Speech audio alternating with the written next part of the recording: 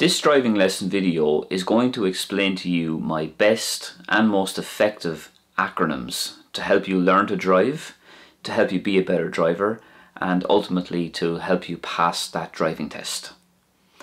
An acronym is a word, a name, or a series of letters that come together in order to act as an abbreviation for a longer piece of text or a longer piece of speech. So for example, the USA is an acronym or abbreviation of the United States of America. And I love using these abbreviations when I'm teaching somebody how to drive because I think it's a very effective way for me to um, give knowledge and for the learner driver to retain knowledge and then ultimately use it when they're practicing or when they're doing their test. I have used these acronyms in the majority of my previous videos, but the reason I'm making this video is so that you will have all my best acronyms um, conveniently located into one video, this video. I also have a new acronym that I've never used before and I think this is a really good one and you'll see that towards the end of the video. If you wish to support me by PayPal, if you wish to support my YouTube channel by making a donation, you can do so by PayPal. I'll leave links in the description and in the first comment. Thank you so much to anybody out there who has already been making donations. I really appreciate it. Donations have been flowing in from 1 euro to 100 euro and no matter what the amount is, I really appreciate the support. So thank you. So let's move on to these acronyms now. The first acronym I will always start when I meet someone for the first time is SOLO. SOLO, S-O-L-O. So let's have a look at that now. So remember, any of these um, acronyms that I'm going through, there is a longer video which I will leave links in the description so you can reach those videos. I'm just going to go through them briefly here now, but more detailed videos, um, follow the links in the description. So solo I was mentioning anyway. So solo is something you should do when you get into the car for the first time. S-O-L-O. S is seat, so adjust the seat to make sure that it's that, that it's properly suits you for your own body height and your own shape. So that looks good. O then is observation, so observe the mirrors to make sure that they're properly set up. So make sure that they're that they're all good, and you can adjust then the side mirrors as well with the electric thing here um, to make sure that they're properly adjusted. L then is like a shape that we make down here.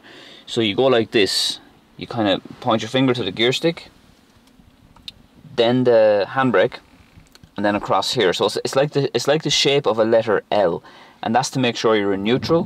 The handbrake is up fully, and the seatbelt is on.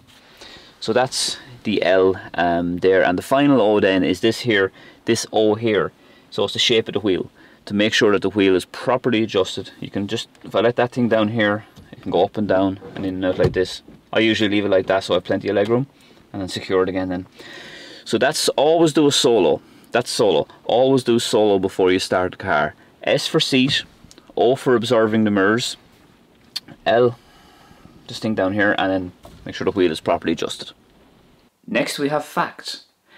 F-A-C-T. So this is really useful if you want to move off properly or if you want to do uh, an effective hill start.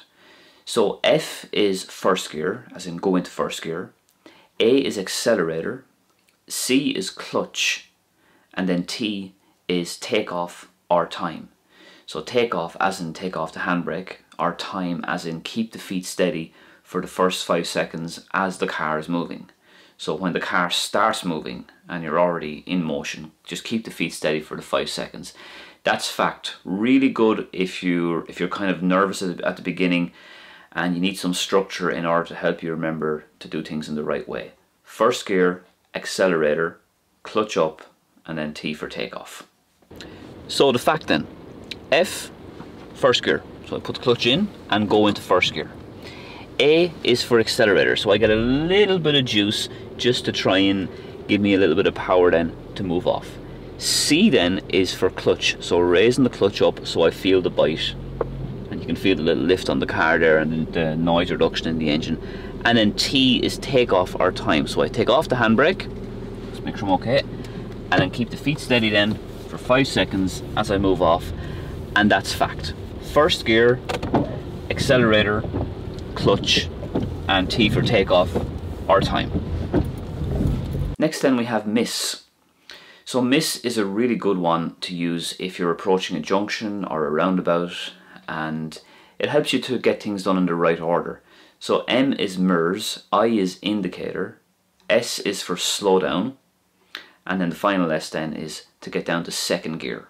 Now the, the last S could be stop as well, but usually you get down to second gear before you stop. MERS indicate, slow down, and second gear. So miss then. Here I'm going to do it now with a left turn, okay? So I'm going to check my M for mirrors. so mirrors indicate. Now I'm slowing down and I'm going to go to second gear about 15-20 meters before junction, double checking the mirrors, and in I go then. So that was the miss there on that left turn.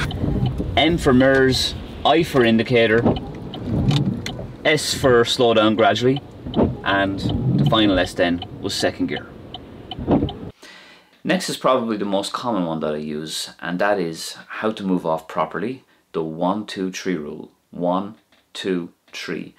So this is if you're moving off from the side of the road, maybe if you're starting a turnabout even, or doing a hill start, always remember the one, two, three rule. One gear stick, two indicators, three mirrors, and a blind spot. So the one, two, three rule then, as I was, as I was mentioning, nice and easy to remember. Here it is. One for first gear, two for the indicators, and then three for the three mirrors, and a proper blind spot and off I go then, checking my mirrors as I go. Nice and easy to remember. You could use it five or six or seven, maybe more times in your test. One, two, three. One gear stick, two indicators, three mirrors, and a blind spot. A lot of learner drivers ask me, when do I use the handbrake? Do I use the handbrake at stop signs? Do I use it at every single stop sign? Do I use it at lights?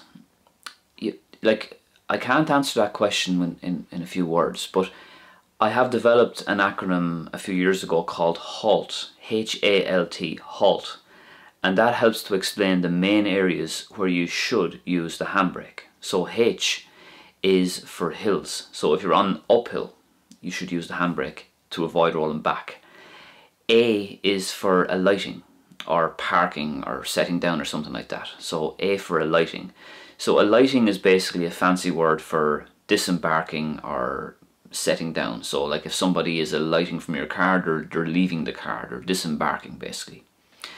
L is lights. So if you're stopped at lights, traffic lights that is, you should use the handbrake for extra security. And then T is time. So if you find yourself stopped for over four or five seconds, it's a good idea to use the handbrake. So halt on the hill, alighting or disembarking, at lights, and then time. They're the main areas you should use the handbrake.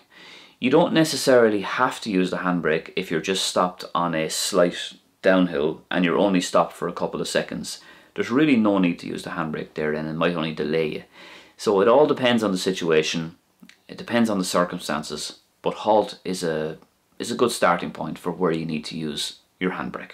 As I said, links in the description to more detailed videos to the ones I'm mentioning here. So as I was saying about halt, we should use the handbrake on the hill if we're lighting at lights and time. Now if I was to stop on this at this light here, if it is red, I could be stopped on a hill for a long time at lights. So that would be three reasons there that I would use the handbrake. But it looks like I don't have to here now because the light looks like it's staying green. But if I was stopping there, very often those lights can change colour and I could be stopped and, and I could be covering three aspects of that acronym. I could be on a hill stopped, I could be, um, I will, I would be at lights and I could be stopped a long time. So there would be three reasons there to use the handbrake, but I didn't need it at that, at that moment in time. Next then is how to deal with hazards and I often say people think ABC when you're dealing with hazards. The first three letters of the alphabet A, B, C. A is the approach, B is beside, and C is when you're coming back in after the hazard. Let's have a look at that now. So the ABC rule briefly. Let's say you're the driver of the red car here and the yellow car is um, an obstruction, a parked car for example. So A is the approach. So as you're approaching, make sure that you move out early and gradually. Don't kind of swerve out at the last second. So don't don't come up like this, be really close to that, and then suddenly come out like that. That's not part of A. A is the approach. So once again, just move out early and gradually, and that way it will help you to see better and it will help you to be seen. B then is to keep in a fairly straight line if there's a series of hazards. If there's more than one, you should stay out in a straight line and try and keep at least a meter or a door length from the parked car. And then C then is when you're coming back in. So when you're coming back in, come back in gradually and checking the side mirrors as you do so, making sure to uh, leave plenty of space between yourself and the yellow car. So A move uh, is the approach. Sorry, A approach, move out gradually. B when you're beside, give at least a door a door length or a meter, and C then when you're coming back in. Another thing as well, if you are stopping, so let's say you you have to stop there because you want to let oncoming cars go. Well, don't don't stop like really close to the back of the car. Stop like at least two car lengths back if you can, and slightly out to the right so you can see better. So that looks like a reasonably good place to stop. Not like this. You see that, that that's that's like way too close. You're going to find it very hard to get out, and you'll probably end up swerving. So it's all about leaving the appropriate space there so so you can make your exit easier. So my next acronym is one that I have never used before. I've never mentioned this before in a lesson. I literally only thought up of this in the last few days. And it's one that will be useful to you if you're nervous about your driving test coming up. Because a lot of people get nervous and I understand why because the driving test is a very big deal. You want to do well and if you weren't nervous, you know, you wouldn't care. So you're nervous because you care. But nerves is like an energy Okay, it's like petrol or diesel is energy for your car. So what you have to do is you have to use that energy that the nerves create and channel that energy not towards feeling terrible and feeling weak and feeling insecure, but towards um, these acronyms that I'm mentioning to you. Because if you can channel that energy, that nervous energy, you can be a great driver and you can really take the bull by the horns here. So what you have to do is you have to boss it boss it, boss the test. B O S S I T. This acronym, these abbreviations of boss it, correspond with some of the most common mistakes people make on the driving test. So let's go down through them. B, blind spot. You must remember your blind spot when you're moving off. You have to refresh your blind spot if it goes out of date and you have to make sure you give a proper check of your blind spot before you move off. So not like this. That's not a blind spot. That's barely a sideways glance. Barely qualifies as one. A proper blind spot is when you turn your shoulder like this and this shoulder comes up here and you can see out your back passenger window. So B for blind spot. Next letter, O.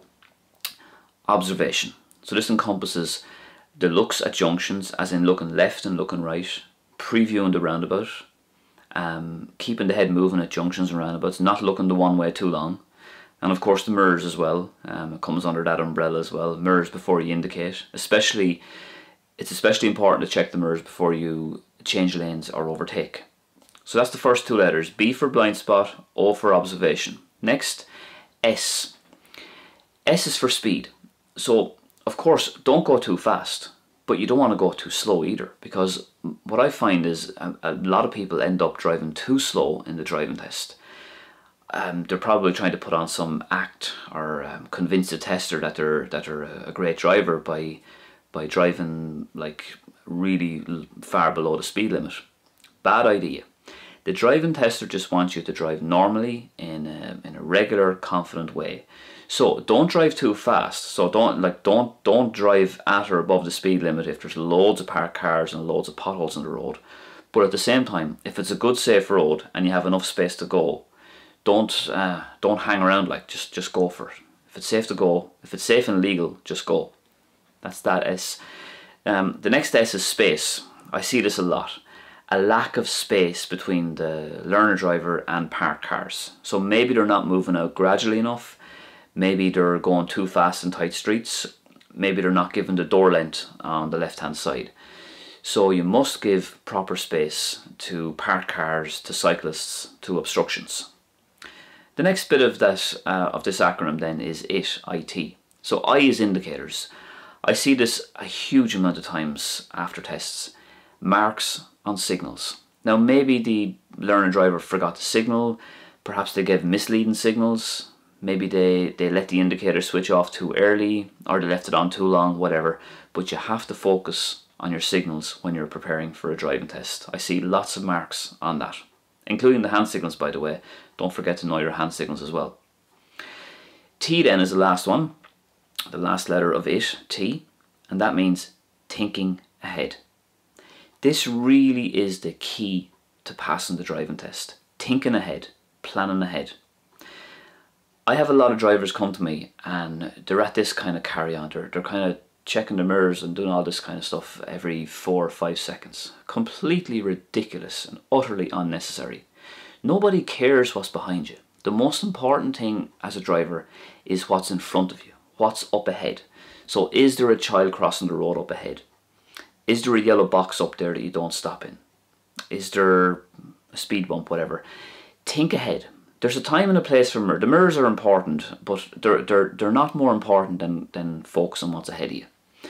So that's T. T is for thinking ahead and concentrating on what's ahead of you. So let's go down through those again. You have to boss it.